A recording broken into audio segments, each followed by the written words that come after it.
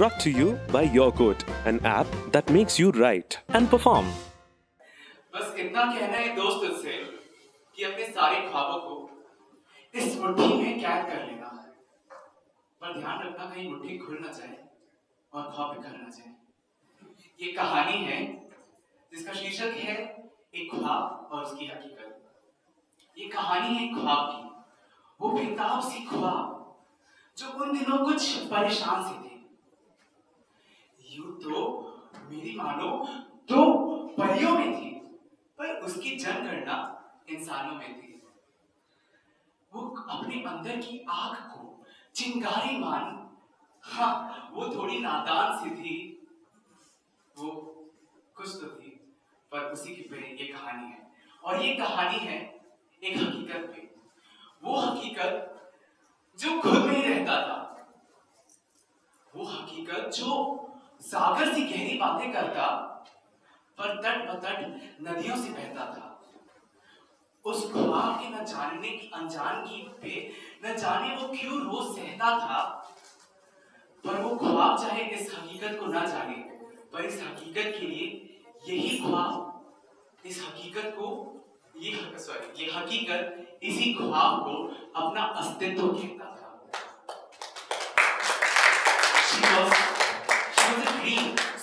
That used to lean onto every neuron in his mind.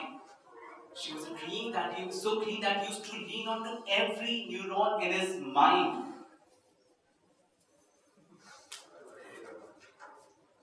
But for him, a sailor, she was the map, the journey, and the treasure that he had to find. Every day he would sit in the library, just two benches apart. Every day he would sit in the library, just two benches apart, pretending to be lost in the depth of his page. And these insecurities of his were the jail that held him back. And these two tables and four chairs were the bars of his cage. खैर, वो दिन तो थे exam के वैसे माहौल था मौसम था एग्जाम का और हर कोई पढ़ने की ढोंग कर रहा था भाई, छह दिन और मिलते तो भाई तेरा फोड़ देता। ये कहकर अपने ही अस्तित्व से लड़ रहा था उसने, उस हकीकत ने सोचा कि चलो, आज मेरे बड़े भाई की पाँच साल पुरानी ऐतिहासिक किताब लेकर असंभव को मैं संभव कर लेता हूँ। आज तो वो लाइब्रेरी में नहीं है।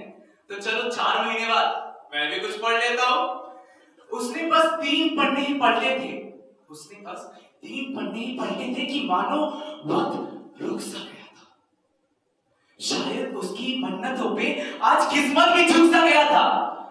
हवा की बहती खुशबू, हवा की बहती खुशबू से कुछ तो कह रही थी। बस मुँह खुना के देखा तो वही लड़की उसे ही घूरे जा रही थी।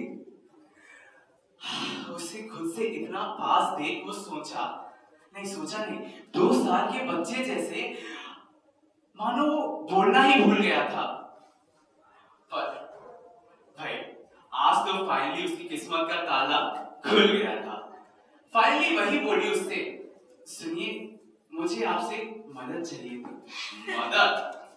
भाई, अंदर से सुपर हीरो समझ खुद को वो बोला हाँ जी, कहिए। उसने कहा आने वाले एग्ज़ाम के लिए मुझे बस आपसे इतनी ही ज़रूरत थी। आने वाले एग्ज़ाम के लिए मुझे बस इतना ही करना था। आपकी दो एडिशन पुरानी बुक में जो एक एक्स्ट्रा टॉपिक है ना, मुझे वही पढ़ना था।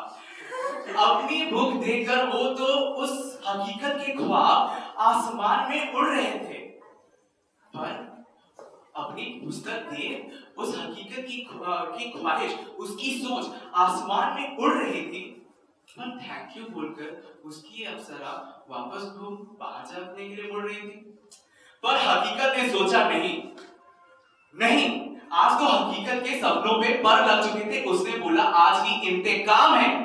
अगर मैंने इसे आज अपना इजहार न किया तो मेरी शिद्दत पे अधूरे पल का इल्ज़ाम है। उसने बोला, रुको, मुझे आज कुछ कहना है।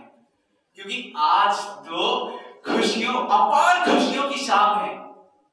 वो बोली बातें बात करें दरअसल कल मेरे मैथ्स का एग्ज़ाम है अब इस हकीकत को क्या पता था ये कल कभी नहीं आने वाला बस आएगी तो एक चिट्ठी और फिर सब खत्म She was running. She was trying to escape. As she paced her way through the maze of the gaze of the society, she knew she couldn't break the bounds because she was held back by her own anxiety. She tried to pace the way through the maze of gaze of society and she tried to break the bounds, but she was held back by her own anxiety. And after pill after pill, she swallowed the poison until the last one hugged her throat like an old friend. She swallowed pill after pill of poison until the last one hugged her throat like an old friend, and breath after breath, her depressed life finally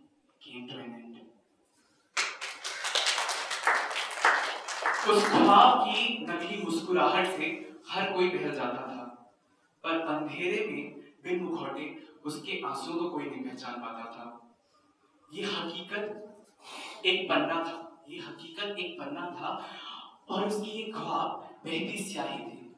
ये हकीकत एक पन्ना था, उसकी ख्वाब एक बहती स्याही थी लिखते लिखते ओझल हो गई, शायद वो इतनी ही दूर की राहें थी बस बस बस छू ही लेता वो उसको, बस छू ही लेता वो उसको, पर अब तो वो सितारों में निकली थी।